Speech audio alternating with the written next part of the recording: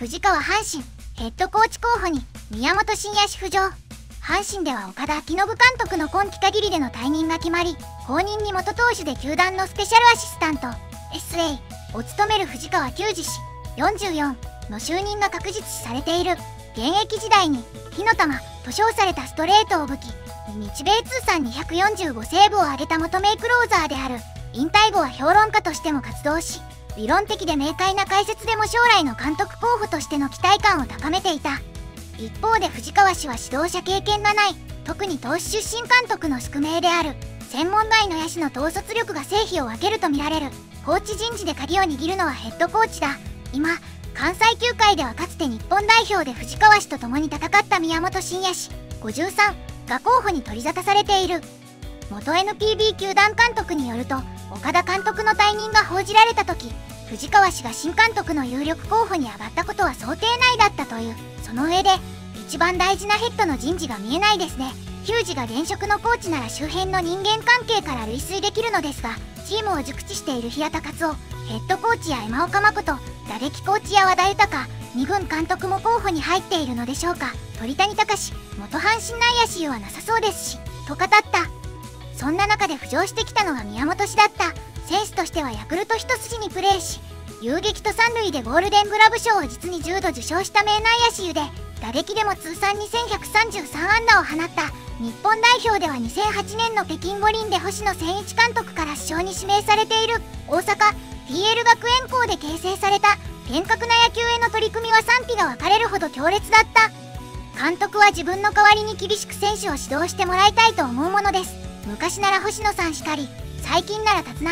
和義中日監督しかり今深夜をヘッドとして欲しがる球団は少なくないと思います。元監督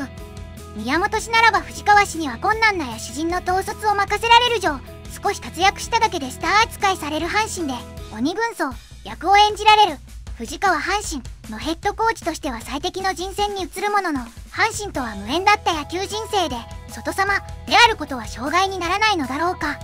藤川氏は7月自身のインスタグラムで上原浩二氏元巨人投手おまじえ宮本氏と会食したとみられる写真を掲載した宮本氏とは迷宮会の会員同士という接点もある阪神宮本ヘッドコーチ誕生となるのか実現すれば藤川阪神の組閣の目玉となることは間違いない。NHK BS の野球中継では2人セットでの中継も多く組まれてましたし2人の解説も互いの野球観を認め合うような話し方をされていたのである意味リアリティのある記事なのかなとも思います。岡田監督の退任が決定した今監督人事とともにヘッドが誰になるのかも重要事項なだけに気になりますね。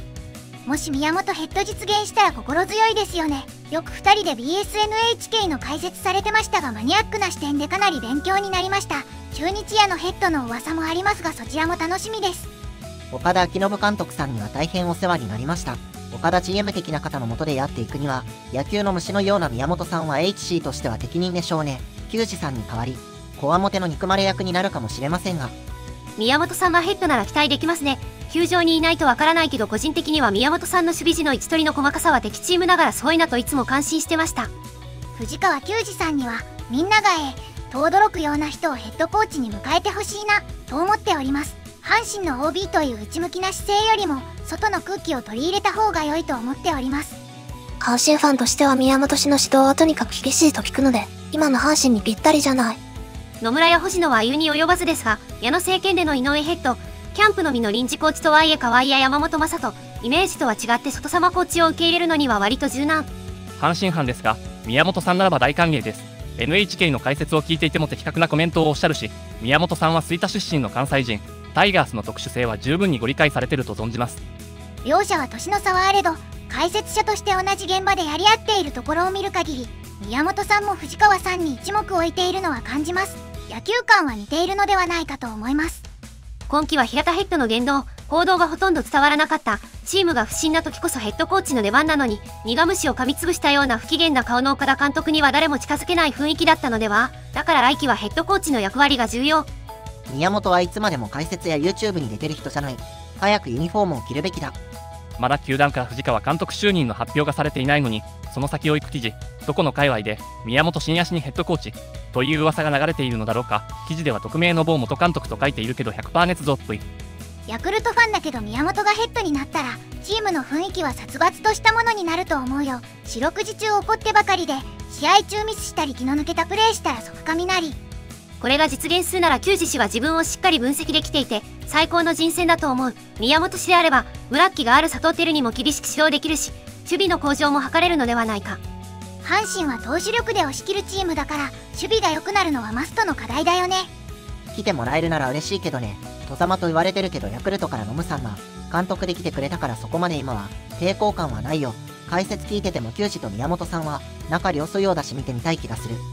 宮本さんがヘッドになったら、PL つながりで福留さんも打撃コーチとかで入閣してくれないかな。鬼軍曹ええやないですか。PL 勢は監督としては大成していませんが星野さんの時の島本さんみたいな感じやると引き締まるような気がします。どこから浮上してるの？福留も呼んでくれるならご視聴ありがとうございました。チャンネル登録よろしくお願いします